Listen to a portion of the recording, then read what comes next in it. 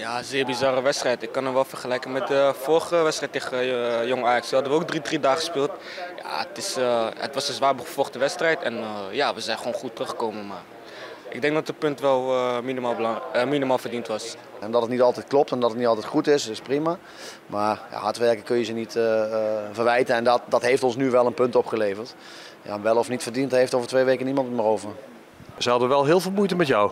Ja, ze hadden zeker veel moeite met mij. Ik heb ze laten zien dat, uh, dat ik niet zomaar een spelertje ben. Dus uh, ja, ik heb ze laten zien dat ik gewoon, uh, dat ik gewoon makkelijk met hun niveau mee kan. Dus ja, ik heb ze gewoon, ja, ik heb, ik heb ze helemaal kapot gemaakt, zo kan je het wel zeggen. Ja. Anthony blijft, heel erg, blijft inderdaad ook heel erg dreigend. en dan weet je dat het ieder moment gevaarlijk kan worden. Hè? Of met een actie of met een, een penalty die er, nu, die er nu uitkwam. Ja, dat is de kwaliteit van Anthony. Was dit misschien wel je beste wedstrijd voor NEC? Ja, misschien wel. Als je het zo bekijkt, uh, kan je wel zeggen dat het uh, een van mijn beste wedstrijden uh, was van NEC. Maar we hebben nog veel wedstrijden te gaan, dus misschien speel ik volgende wedstrijden wel beter.